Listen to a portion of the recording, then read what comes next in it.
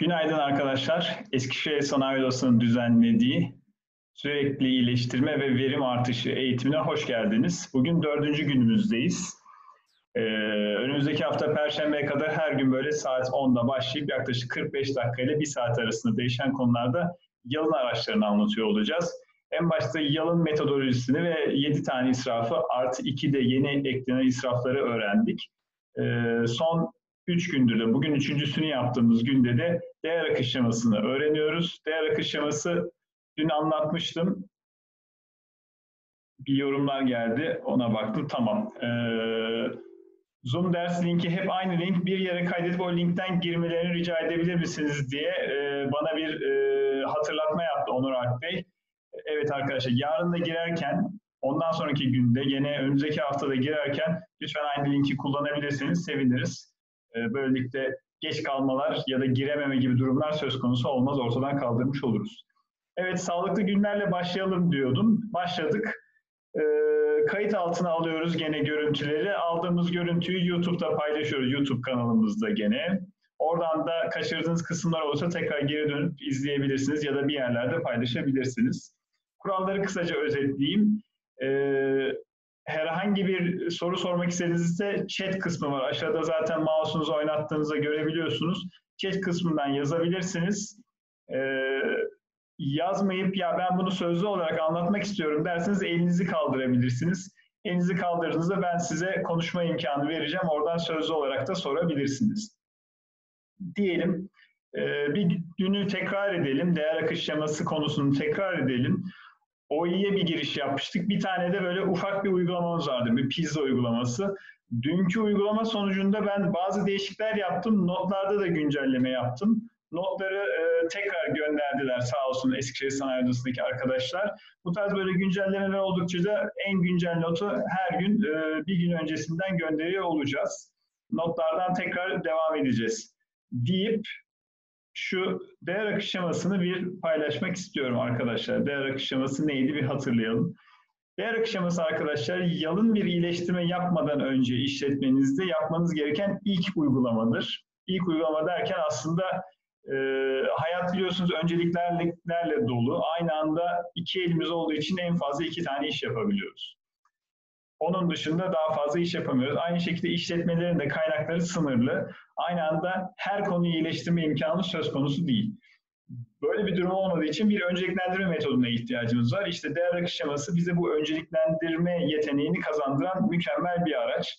Kağıt üzerinde yapıyoruz demiştik. Hoş ben size Excel üzerinde bir değer akış şeması hazırlayıp gönderdim. Dünkü pizza sürecini anlatan. Ama gerçek hayatta yaklaşık 2 metrelik, 3 metrelik alanlara geniş geniş e, yaklaşık 15 kişilik, 20 kişilik, bazen 30 kişilik ekiplerle süreciniz ne kadar büyükse ona göre değişir. Büyük ekiplerle değer akış şemaları oluşturduğumuz zamanlar oldu. E, büyük büyük duvarları, kağıtları koyarak, yapıştırarak kurşun kalemle yazıyoruz. Değer akış şeması özetle aslında malzeme akışıyla bakın aşağıda kesme, bükme, delme, montaj ve paketlemeden oluşan bir akış ve bu malzeme akışını tetikleyen bilgi akışı. Tedar e, müşteriden sipariş nasıl geliyor? Biz bu siparişi nasıl üretime yönlendiriyoruz? Bu yönlendirdiğimiz bilgiyle tedarikçiye ne bilgisi gönderiyoruz ve tedarikçi bize ne zaman, ne kadar miktarlarda ham madde gönderiyor ya da komponent gönderiyor. Biz onu nasıl süreç ediyoruz diye gösteren bir e, bilgi ve malzeme akışı tablosu idi. Bunu yaptıktan sonra veri toplama kısmı vardı. Genelde veri toplama kısmını şöyle yapalım demiştik. Her operasyondan arkadaşlar bir arada kendi operasyonlarıyla ilgili verileri toplayacaklardı. Mesela bakın burada demişler ki kesme operasyonu burada bir operatör çalışıyor. Kesme operasyonunun önüne baktığımızda yaklaşık ortalamada 600 tane e, stok olduğunu görüyoruz. Çevrim süresi bu kadardır. Setup süreleri, OI değeri, parti de boyutları, vardiya boyutu, 3 e, vardiya çalışır bazı makineler, bazı makineler 4 vardiya, bazı makineler sadece 1 vardiya çalışabilir. O tarz bilgiler varsa o bilgilerin hepsini yazıyorduk. Bunu yaptıktan sonra sahaya inip sondan başa doğru tabii ki işletme direktörü veya fabrika direktörü de başımızda olacak şekilde sondan başa doğru süreçleri takip ediyorduk ve bu toplamış olduğumuz bilgileri doğruluyorduk. Bu toplamış olduğumuz bilgileri alabiliyorsak ERP'lerden, SCADA'lardan toplanabilir. Alamıyorsak gidip sayabilirsiniz, ölçüm yapabilirsiniz. Makinenin e, verisini toplayan bir sistematiği varsa, makine hızını vesairesini gösteren, makineden bu veriyi USB ile ya da Ethernet ile alabilirsiniz. Ya da ekranına bakarsınız bir tane formla doldurabilirsiniz. Bunların hiçbiri yoksa bir kısmını da operatörlere sorabilirsiniz. Tabii tek bir operatörüne birden fazla operatöre sorup onların onlardan aldığınız geri e, dönüşü de amirlerine, formenlere, teknisyenlere ya da mühendis arkadaşları ya da uzman arkadaşlara doğrulatarak e, doğruya en yakın rakamları çıkartmış olabilirsiniz. Biz burada bakın motomot bir süreç analizi yapmıyoruz şu anda. Bu sürecin nerelerde, hangi sebeplerden dolayı darboğaz oluşturdu ya da darboğaz olumlu bir cümle bir kelime değil, e, şişe ağzı oluşturduğunu görüyoruz. Bunları tespit etmeye çalışıyor idik. Hemen bir e, yorum gelmiş. Notlar bana gelmedi hocam diye. Ee, eğer bugün katıldıysak eğitime muhtemelen yarın gelir notlar. Çünkü sabah yeni gönderdiler. Belki de görme imkanı olmamış olabilir. Evet değer akışaması buydu. Alttaki bilgileri toplarken bakın OEE diye bir şey çıktı karşımızda. Toplam ekipman verimliliği diyorduk. Gelin OEE'yi de bir kısaca yazılı olarak tekrar anlatayım ben. OEE arkadaşlar süreçler arasındaki verimliliği ben şurada evet güzel. Bir kameramı kapatacağım ama ekrana yaklaşıyor olacağım çünkü. O sırada yakından bir görüntü vermek istemiyorum. O iyi arkadaşlar bizim e, süreçlerimizin verimini takip etmek için e, kullandığımız bir verim ölçüm oranıydı aslında. Yani sürecimiz ne kadar verimli çalışıyor onu gösteriyordu. Şuraya yazalım. OEE üç tane kavramdan oluşuyordu. Bir tanesi yükleme seviyesi ya da yükleme oranı. Buna availability de diyorlar. Bunun detayına ineceğiz şimdi. Diğeri performans oranıydı. Buna randıman da diyenler var. Bir diğeri de bildiğimiz yıllardan beri takip ettiğimiz kalite oranı idi. Şimdi bunu nasıl takip ediyoruz onu bir e, anlatmak istiyorum.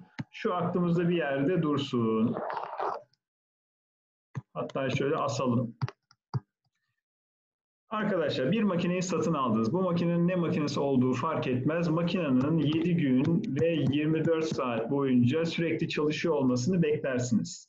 7 gün 24 saat çalıştığında bizim karşımıza çıkan süreye biz toplam süre deriz. Bütün patronlar bunu arzu eder. Bundan bir 5-6 sene önce bir taksiye bindim. Ee, taksiciyle konuşuyoruz. Abi sen ne iş yapıyorsun diye sordu bana. Ee, ben de anlattım. Sen dedim ne zaman para kazanıyorsun, ne zaman para kazanmıyorsun? Bu taksiye ne kadar para verdin? Ee, işte dedim bak taksi kullanırken para kazanmadığın süreyi azaltıyorum ben dedi taksiciye. Durağa davet etmişti daha sonrasında. Aa, sen bizim işleri iyileştir diye. Aynı şekilde takside arkadaşlar taksi sahibi 7 gün 24 saat aracın çalışmasını ister. Ama belirli sebeplerden dolayı bu 7 gün 24 saat çalışmaz. Bunlardan bir kısmı şöyle yapalım. Planlı duruşlardır. Planlı duruşlar sizin önceden planlanmış sebeplerden sürecinizi çalıştırmadığınız sebepler olabilir. Mesela tatildir. Hafta sonu tatillerinde bazı firmalar çalışır, bazı firmalar çalışmaz. Hatta şuraya şey yapalım. Hafta sonu ve bayram. Bakın bunlar da bazı firmalar çalışır, bazı firmalar çalışmaz. Siz çalışmıyorsanız bunları planlı duruşlar altına yazmanız lazım. Yemek molası. Bazı firmalar çalışır, bazı firmalar e, yemek sırasında makinelerini durdururlar. Artı kahve diyelim. Ee, başka planlı temizlik olabilir. Ve planlı bakım diyelim. Grev, lockout gibi kavramlar da planlı kavramlardır. Yani bunlarda da fabrikalar ya da işletmeler çalışmaz. Ee, bunları düşmemiz gerekiyor. Düştük. Toplam süre eksi planlı duruşlar dediğimizde eksi planlı duruşlar dediğimizde karşımızdaki süre bizim kullanılabilir süremiz oluyor. Şöyle yazalım onu da. Kullanılabilir süre.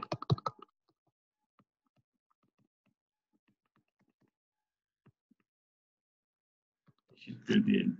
Kullanılabilir süremiz var. Bu bizim bütün bu planlı duruşlar çıktıktan sonra ne kadar süre makinemizi çalıştırabildiğimizin bir göstergesi.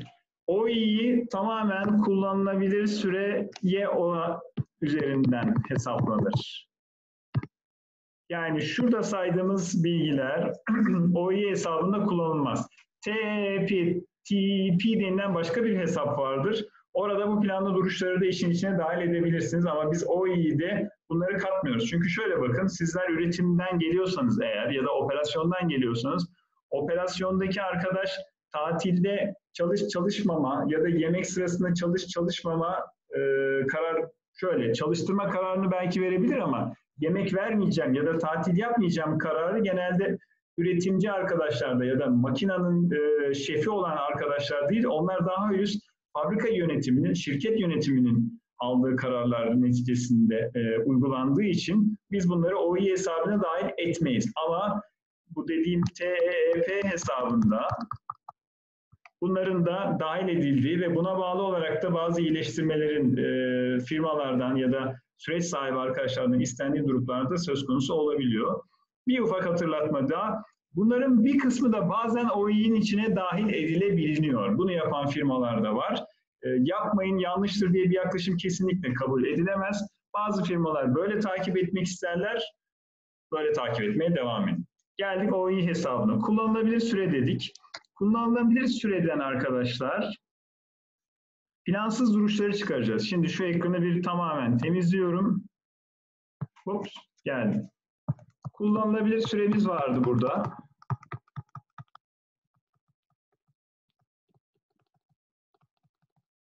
Kullanılabilir sürede ne oluyor? Bazı plansız duruşlar oluyor. Biz makinemizi kullanacağız diyoruz. Tatillerden, öğle yemeklerinden çıkarttık. Mesela öğle yemeği yarım saattir. Çay molaları iki tane 15-15. Yarım saatte oradan bir saatlik çay molası düştüğünüzde bir günde 8 saat çalışıyorsa firma 7 saate iner sizin kullanılabilir süreniz. Ama 7 saat kullanırken de bazı plansız duruşlar olur.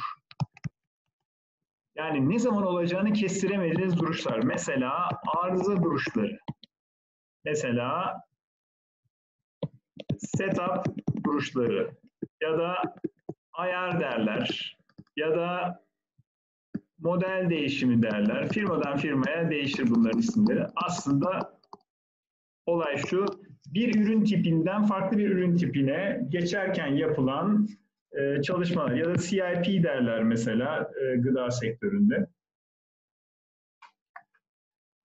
Bunun dışında genelde 10 dakika olan ama firmadan firmaya bu 10 dakika olanın da dışına çıkabilir. 10 dakika üstü duruşlar neler olursa bunların hepsi plansız duruş olarak gelir. Mesela malzeme bekleme çok yaşadığımız bir şey. Malzeme bekleme, iş emri bekleme bunu da çok gördük. Bekleme. Bazı durumlarda bir operatör birden fazla makineye müdahale etmesi gerektiği için operatör bekleme ya da operatör makineye start verebilmesi için amirinden, formeninden izin alması gerekiyor. Bir formenin ön onay vermesi gerekiyor. Bunların beklemesi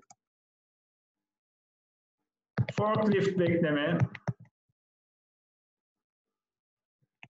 gibi sebeplerin hepsi arkadaşlar plansız duruşlar olarak karşımıza çıkar. Peki kullanılabilir süre süre eksi plansız diyelim şuna. Duruşlar dediğimizde bu da arkadaşlar çalışılabilir süre. Olarak karşımıza çıkıyor. Farklı isimler veriliyor.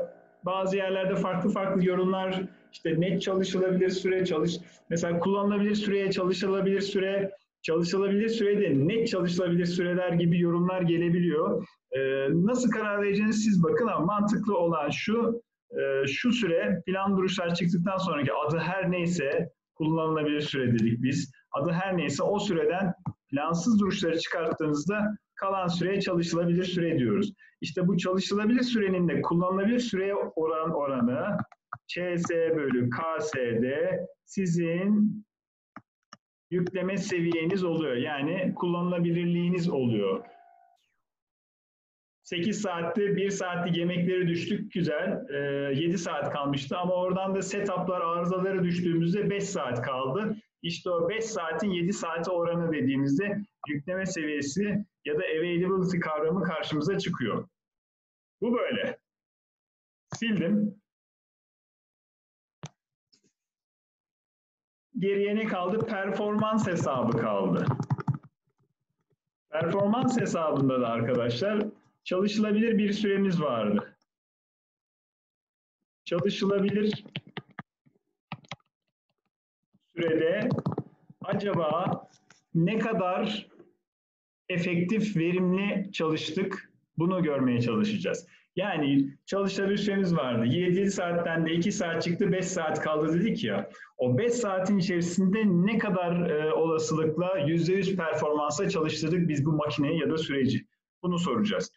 Ee, şöyle bakın, çalışabilir süreçten, e, çalışılabilir süreden kayıplar neler olabilir? Hız kaybı olabilir en basiti.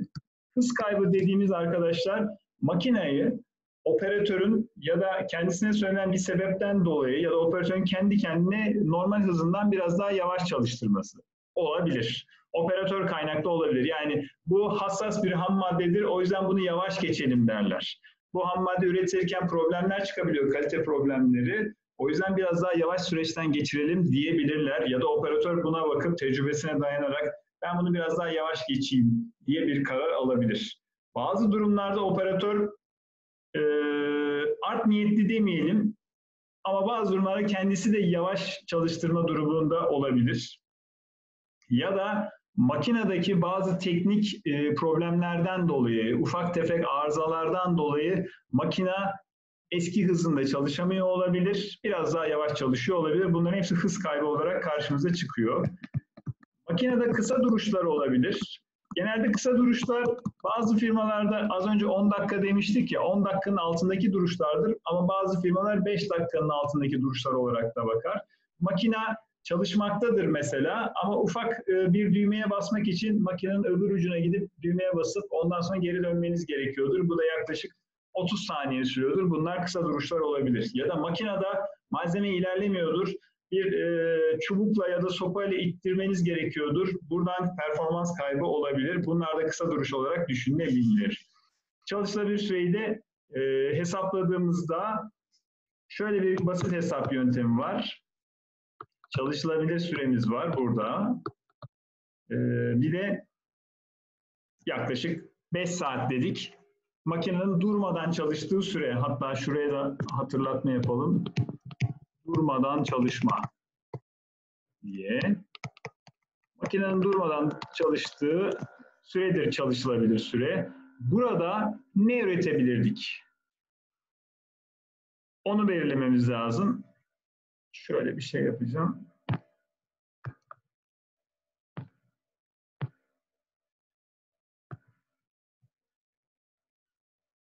Kalemimi tekrar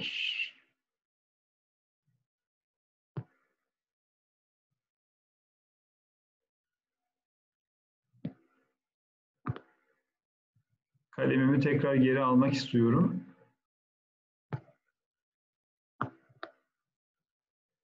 Kalemimi tekrar alamıyorum.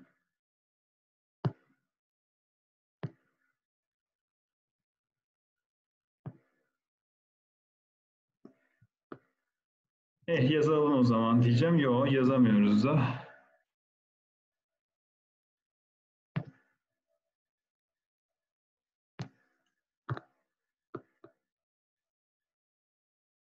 Bir ufak şey kaybı oldu. Undo desek.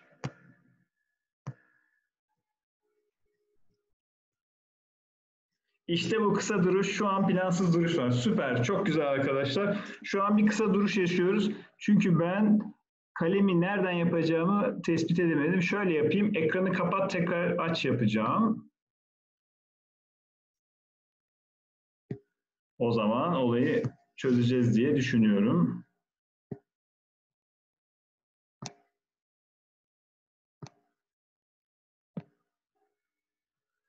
Share screen, whiteboard. Evet geldi. Ee, ne üretebilirdik?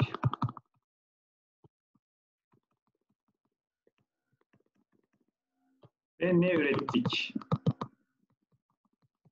Arasındaki oran. Ya da çalışılabilir süre neydi? Çalışılabilir süre.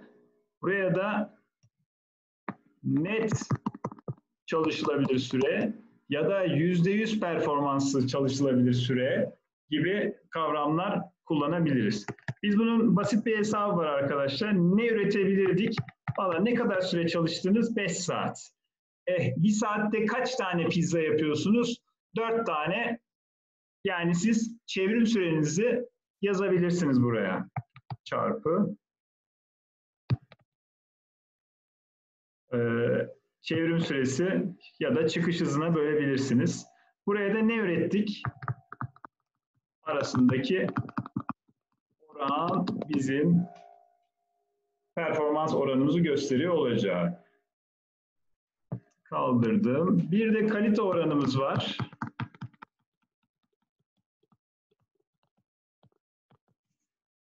Bu da arkadaşlar zaten e, yıllardan beri yaptığınız sürece ne girdi ve ne çıktı arasındaki orandır.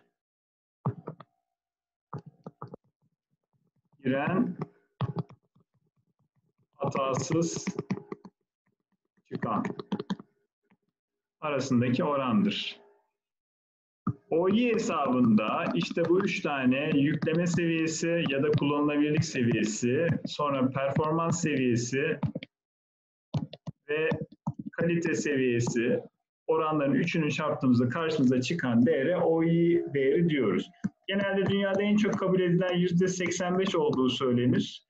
Ee, ama farklı endüstrilerin farklı OI hedefleri olabilir. Siz de kendinize farklı bir OI hedefi verebilirsiniz arkadaşlar. Ee, dün bazı sorular vardı. Onlarla ilgili e, e-postalar geldi. Onlara birebir cevap verdim ben ama tekrar edeyim. OI hesabı arkadaşlar makine bazında yapılır. Bir makine, iki makine, üç makine. Her makine için ayrı ayrı yapılır. Ee, toplam fabrikanın OI'sini görmek için yöntemler var. Dün de söyledim. Bunlardan bir tanesi ortalama alıyorlar. Ee, ya bu bana çok böyle sıcak gelmiyor. Bütün fabrikanın tepesinden ben ortalama OI'ye bakınca bana nerede aksiyon almam gerekiyor onunla ilgili çok fazla bilgi verdiğini düşünmüyorum. Ee, ne yapabiliriz, ne yapabiliriz diye düşündüğümüzde birazdan tak süresini anlatacağım. Tak süresi ya da tak oranını anlatıyor olacağım size. Orada e, tak süresinin üzerinde kalan ya da takt oranının altında kalan durumları anlatacağım. Yani şişe ağzı dediğimiz ya da dar boğaz dediğimiz süreçleri anlatacağım. Dar boğaz dediğiniz sürecin sadece OI'sini e, yani dar boğaz dediğiniz makinenin OI'sini bütün hattın OI'si olarak da takip edebilirsiniz. Çünkü dar boğaz sizin hızınızı belli eder, pacemaker dediğimiz. Dar boğaz makina sizin e, en sondaki çıktığınızın az veya çok olmasına etki edeceği için dar boğazın OI'sini de o sürecin OI'sini takip etmek amacıyla kullanabilirsiniz. Kapattım paylaşımı. Şimdi tekrar bilgisayarı düzeltiyorum.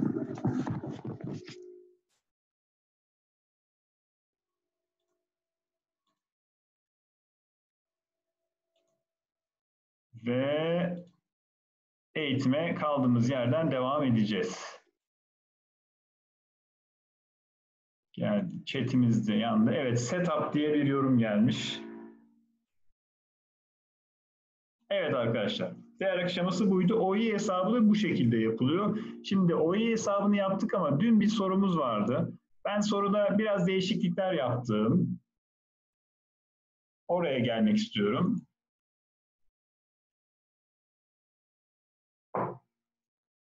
Evet, burası. Kameramı da açayım. Şöyle bir kendimizi görelim. Evet arkadaşlar. Dünkü soruda pizza lokantasında çalışıyoruz. Pizza hazırlama süreci değer aşamasını çiziniz dedik. Ee, değer aşamasına dün başlamıştık ama ciddi zamanımızı alacak diye ben hazırlanmış bir şekilde bir Excel gönderdim size. Ee, her bir adım için OI hesabını yapınız dedik. Dün bir tane başlamıştık. Şimdi OI hesabı yapılmış olarak gönderiyorum. Tedarik süresi ve proses çevrim verimini hesaplayacağız. Bugün zaten şu konuları görüyor olduk. Sonrasında tak süresini ve taktın üzerinde hangi süreçler kalıyor onları gözden geçiriyor olacağız. E, soruyla alakalı burası aynı kaldı bakın. Lokanta günde gene 12 saat açık. Yani toplam süre 12 saat, pardon toplam süre 24 saat. Ancak bunun 12 saati kullanılabilir durumda. Hatta 12 saatin de yarım saat artı 15'er dakika 1 saat yani 11 saati aslında gerçekten kullanılabilir süre olarak karşımıza çıkıyor. Bir de planlı temizlik vardı günlük yapılan. O da 5'er dakikaydı galiba. Onu da işin içine dahil ettik. Verilerle alakalı şöyle bir ekleme yaptım arkadaşlar. Hangi süreç ne kadar üretim yapmış günlük? Onlarla ilgili bakın en sağda bir e, üretim kolunu açtım ki performans seviyesini hesaplarken bunu kullanın diye. Bir de çevrim sürelerini biraz değiştirdim. Aslında dört katı hızla yapılıyor diye aldım.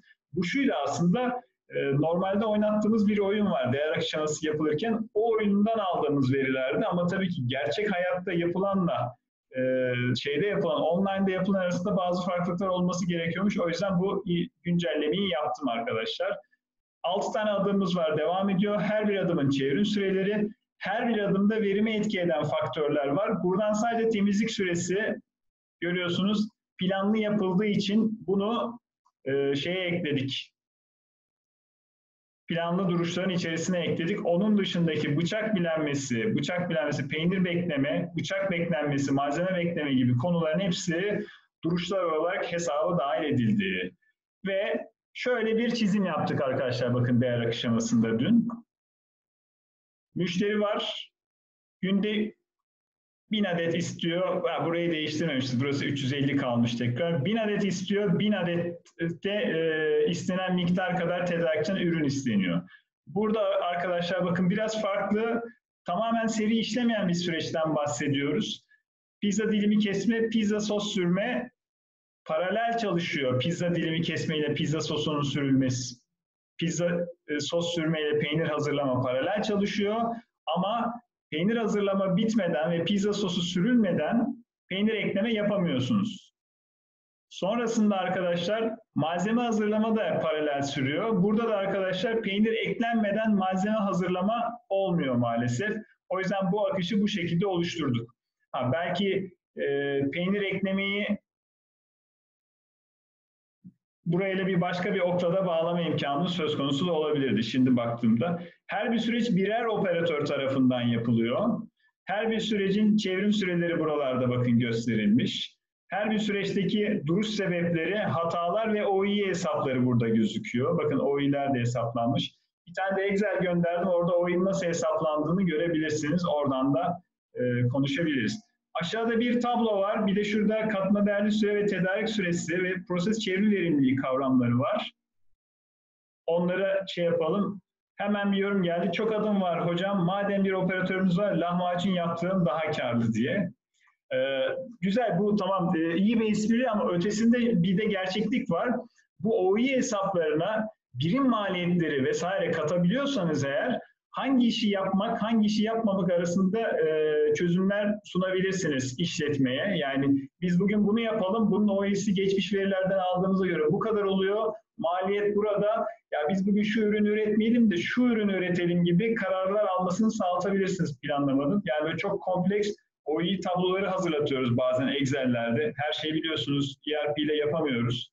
Ee, bazı şeyleri hiç OI'yi kullanmamış bir firmada bazen Excel'lerle başlayabiliyoruz çünkü bu şekilde bir hesap yapma imkanı söz konusu olabiliyor. Genel görüntü bu. Peki, devam ediyorum.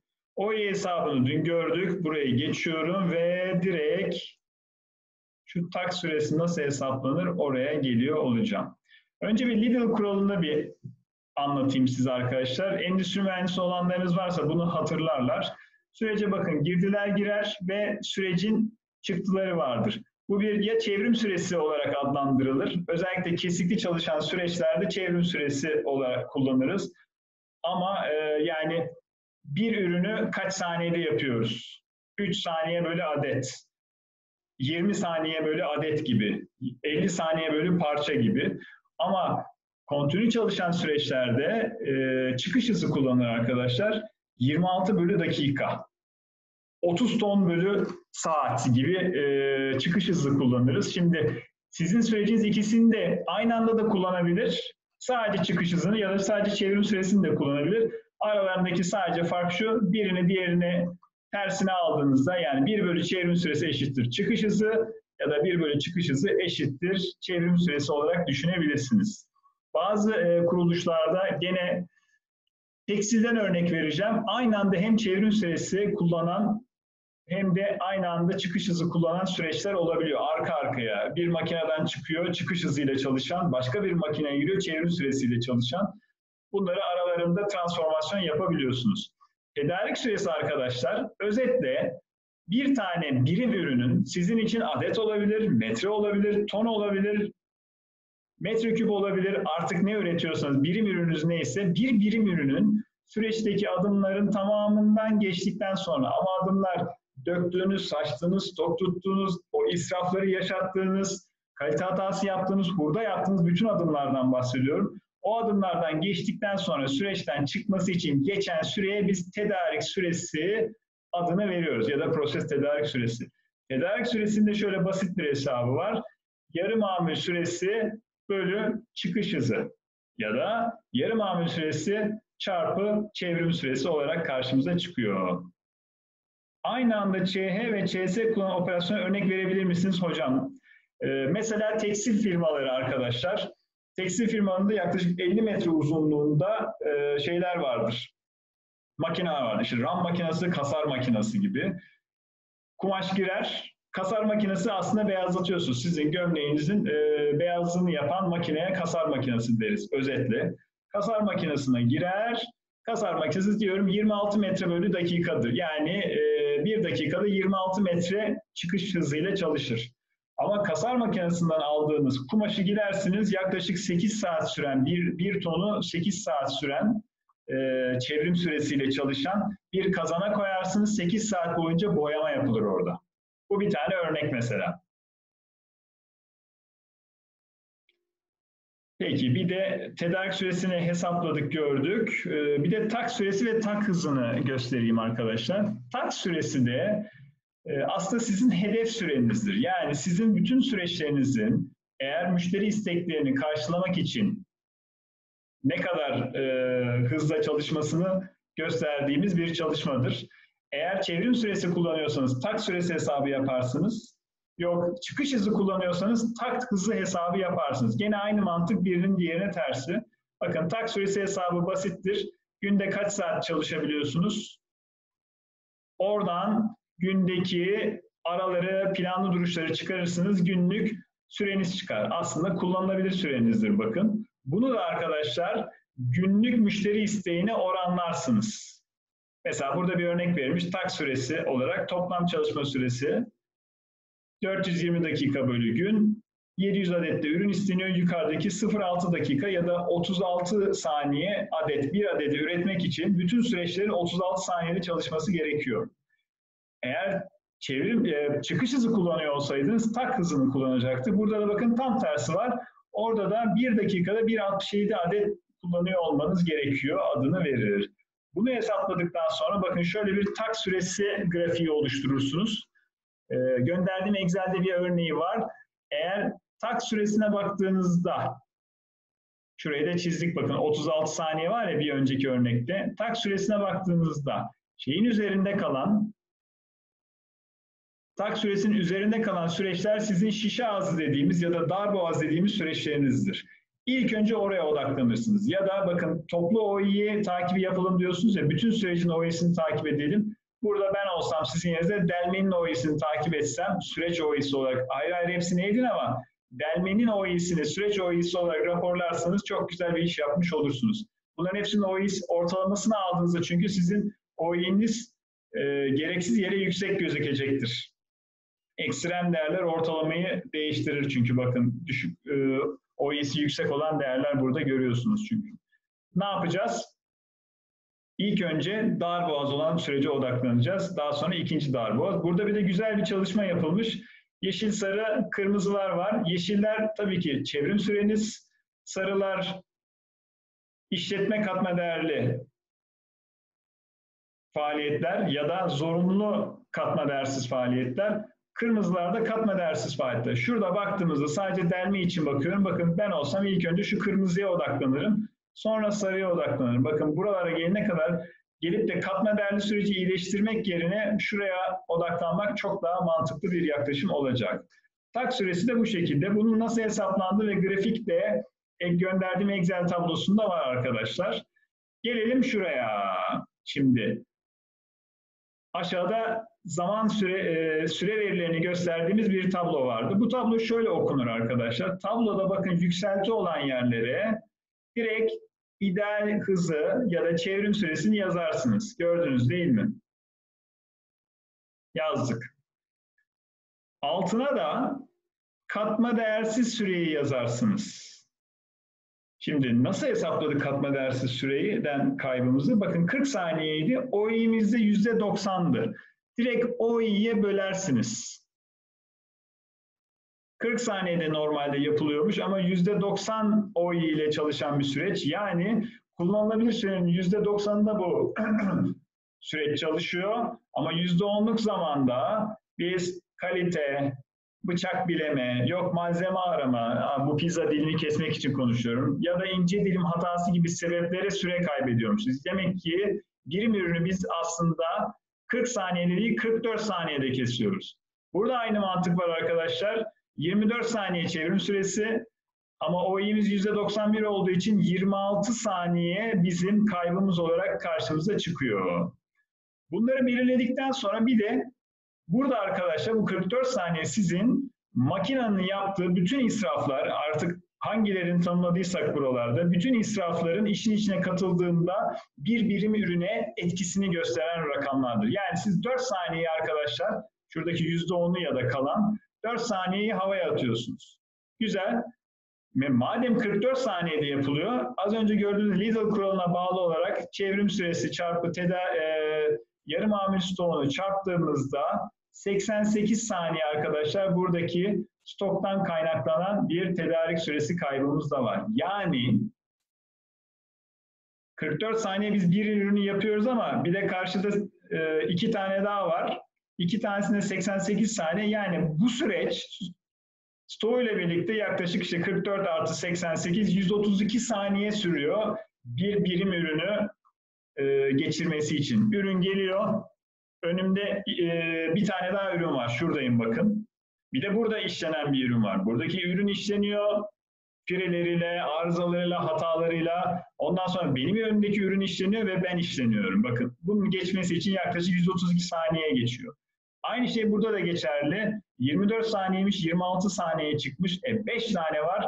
130 saniye burada 26 saniye demek ki 156 saniye sadece pizza sos sürmenin önünde beklemek durumundayım ben. Geldim önümde 4 tane daha stokta malzeme var. Bir tane de burada işlenen malzeme var. Onları beklerken ben yaklaşık 156 saniye süre kaybediyorum.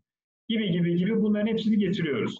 Şimdi arkadaşlar şurada bir de katma değerli süre var. Katma değerli süre arkadaşlar aslında yukarıdakilerin toplamıdır genelde. Burada ama bu süreç paralel süreçler de işin içinde söz konusu olduğu için sadece malzeme hazırlama ve malzeme ekleme olarak verilmiştir. Yani kritik yolu kullandık burada. Çünkü arkadaşlar bakın 40 saniye, 24 saniye, 20 saniye diyoruz belki ama şunların hepsinin toplamı bile şu 112'den düşük. O yüzden malzeme hazırlama asıl burada pacemaker'dır. Yani malzeme hazırlama süreci şunların hepsinden daha uzun sürdüğü için ve bu olmadan da son ürünü yapamadığınız için malzeme hazırlama süresi ve sonrasında gene uzun olan malzeme ekleme süresi bizim e, iki tane pacemaker sürecimizdir. Direkt şunlar katma değerli süre olarak yazıldı. Ama tamamı seri olsaydı siz sadece şunları toplamını alacaktınız. Süreç tamamen seri olmadığı için ve kritik yollar, critical path dediğimiz yollar da olduğu için e, burada kritik yol malzeme hazırlama ve malzeme eklemeden geçtiği için 112, 112, 24 saniye, 224 saniye olarak katma değerli süreyi karşılığı çıkarttık. Yani eğer şey olmasaydı, hiçbir arıza, duruş, stok, setup vesaire olmasaydı siz bu işi 224 saniyede bitirebilir misiniz? Ama tedarik süresine baktığımızda tedarik süresinde maalesef hepsini almak durumunda kaldık şuradaki. Aşağıdaki bilgileri almak zorunda kaldık. Çünkü 112 saniyeden çok daha uzun bir süre şuralarda geçiyor zaten stoklarda. O yüzden bunun bunları beklemesine gerek var şu anda. O yüzden kritik yol burası oldu. Aldığımızda, topladığımızda 1784 saniye çıktı. Yani arkadaşlar bir ürünü siz 224 saniyede hazırlayabilecekken 1784 saniyede hazırlıyorsunuz. Sebep duruşlar, sebep malzeme bekleme, sebep setuplar, kalite hataları, performans düşüklükleri, stoklar vesaire vesaire. İkisini de birbirine oranladığımızda %12,5'luk proses çevrim verimliliği karşımıza çıkıyor. Yani siz sürecinizi %12,5 verimle kullanıyorsunuz. Geri kalan zamanda siz havaya kaynaklarınızı atıyorsunuz. Yani oranlara baktığınızda 224 saniyede bir işi bitirebilecekken 1784 saniyeye kadar çıkabiliyorsunuz. Bazı sektörlerde %10'unu zaten atarsınız diye kafadan söylerler. Burası da %12,5 çıkmış. Pek de uzak değil. Tedarik süresi, proses tedarik süresi ve proses çevrim verimi de böyle. Bir tane soru geldi. Stok süresi operasyon süresi kadar eş zamanlı değil mi? Bunu biraz daha açabilir miyiz? Ben anlamadım burada ne sorulduğunu.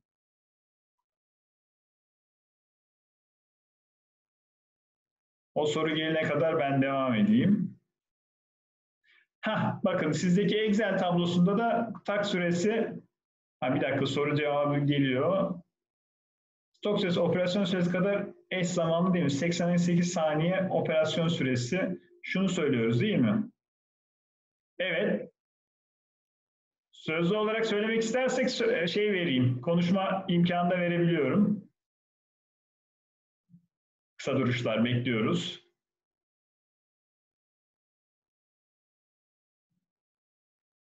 Veya yazılsın ben tekrar geri dönerim buraya. Şimdi 44 saniyesi operasyon süresi kadar eş zamanlı. Ben anlamadım bunu. Ee, söz verebilirim ama imkan varsa sözlü olarak konuşalım.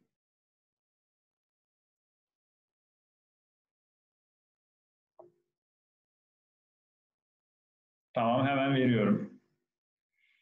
Participants.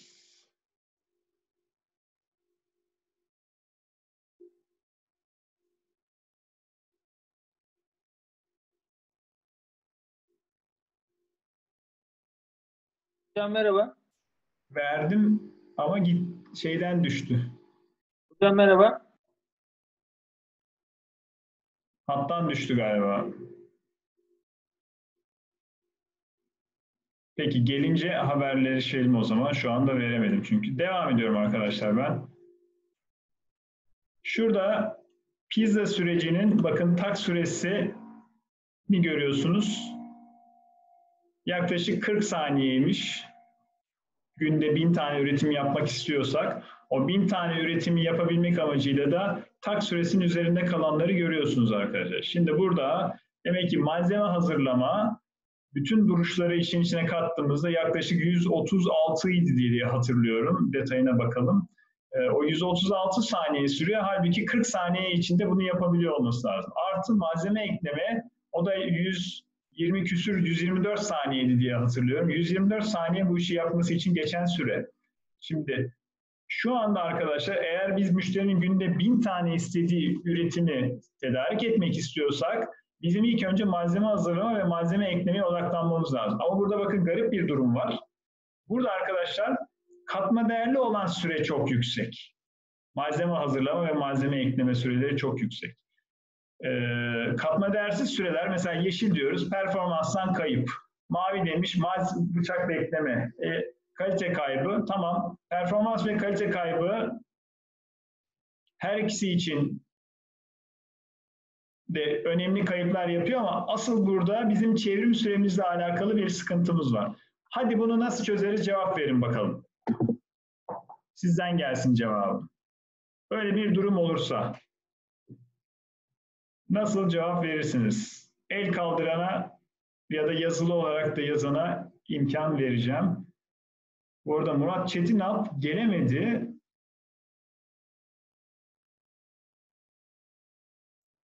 Güzel. Tugay Yıldız'dan bir cevap geldi. Malzeme hazırlama prosesine ekstra operatör koyarak U-band türü olabilir ya da ek personel, ilave personel diye. Şimdi arkadaşlar ilk aklımıza gelen ilave personel ama en başta ben şöyle bir şey demiştim ya yani e, biz bu işi mevcut katma değersiz faaliyetleri ya da işletme katma değerli ya da zorunsuz katma değersiz dediğimiz faaliyetleri ortadan kaldırdıktan sonra operatör e, istihdamı ya da yeni makine istihdamına gitmemiz lazım diye söylüyorum. Şimdi e, ideal çevrim süresi böyle olmuş diye, birileri zamanında ideal çevrim süresini böyle belirlemiş diye bu şekilde hayat devam etmek zorunda değil. Evet, ilave personel dediğinizde bu yaklaşık bakın hadi iyileştirdik 112 saniyeye indi. İki kişi yapsanız yaklaşık 50 küsür saniyeye inecek. İki kişi burada, iki kişi burada, iki kişi işe aldık. Üç kişi yapsanız biraz daha işe inecek. Üç kişi yaparsak da işte 30 küsürlerde olacak. Üç kişi olursa üçer kişi yani iki kişi buraya, iki kişi buraya, dört kişi istihdam ederseniz malzeme hazırlama ve malzeme ekleme süresini azaltabilirsiniz. Güzel ama halen e, bir maliyet ortaya çıkarttınız. Bu kadar kişi işe almanız, günde bin taneyi sağladığınızdan elde edeceğiniz, bin tane ürünü sattığınızdaki karlılığı karşılayacak mı? Bakmak lazım. Eğer öyle bir şey varsa tabii ki istihdam etmek lazım. Ama şu da var. İdeal çevrim süresi böyle hesaplanmış diye zamanında bunun e, detayına bir inip bakmak lazım. Önümüzdeki hafta akış şemalarını analiz edeceğiz. Süreç akış şemasını. Simetlere bakıyor olacağız. Belki buralarda bizim görmediğimiz daha önceden ayrıntılar vardır. Şeytan ayrıntıda gizlidir derler ya. Bizim süreç iyileştirmelerde de bu şekilde. Gidip bu ya şu 112 saniyede ne yapıyor bu adam Allah aşkına? Ya da bu kadın ne yapıyor 112 saniyede? Malzeme hazırlarken ne yapıyor? Malzemeler belki çok uzakta. Ya da kullandığı bıçakla, ekipmanla alakalı bir problemi vesairesi var. Bir onun detayına inmek lazım. Yani şunun bir detayını analiz etmeden, video kamerayla belki çekim yapacağız. E, süreç analizini çıkartacağız. O analizi yapmadan hemen personel istihdamına girmemek lazım. Ama evet pers ilave personel iki arkadaştan cevap gelmiş olabilir. Bir arkadaş U band türü olabilir. U hücresi yapılabilir. Ee, ihtiyaç varsa U olur, L olur ya da farklı farklı hücrelerle e, süreç çalışması yapılabilir. Dengeleme yaparız. Ha şu olabilir.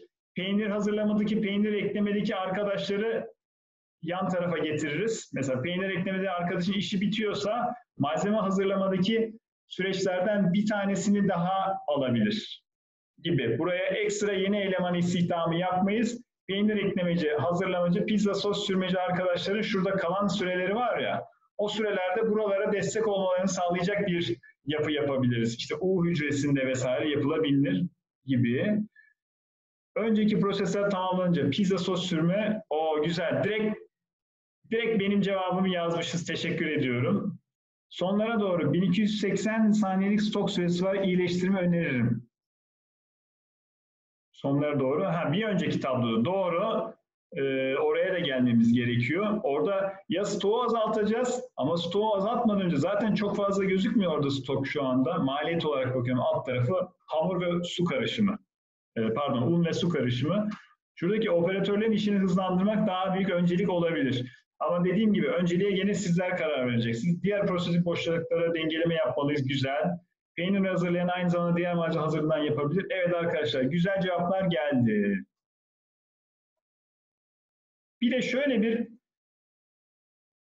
prosedür demeyeyim buna da çalışma planı gibi düşünebilirsiniz arkadaşlar. Bakın iyileştirme fırsatlarında ilk bir numara demişiz madem tak süresinin üzerinde ya da çıkış hızıyla analiz yapıyorsanız yani kontinu prosesleriniz varsa tak hızının altında kalan adımlara dikkat edin. Bakın çevrim süresi ise tak süresinin üstünde kalanlar bir önceki grafik ama tam tersi çıkış hızıyla çalışan bir süreciniz varsa tak hızının altında kalanlar sizin için problemli süreçlerdir. Şişe ağzı dediğimiz dar boğaz dediğimiz süreçlerde ilk önce onları çözün. İlk önce arkadaşlar şu ikisi ve şuraya odaklanın. Önce çünkü siz şu anda müşteriye istenen ürünü gönderemiyorsunuz yeterli miktarı. Bin adet istiyor her gün. Siz bin adet gönderemiyorsunuz. O bin adede odaklanalım. İki, daha sonra o adımlarda arkadaşlar ne kadar süre kaybeden konular varsa bunları önceliklendirelim. Önceliklendirmek için bakın burada çok güzel yeşiller, kırmızılar gözüküyor.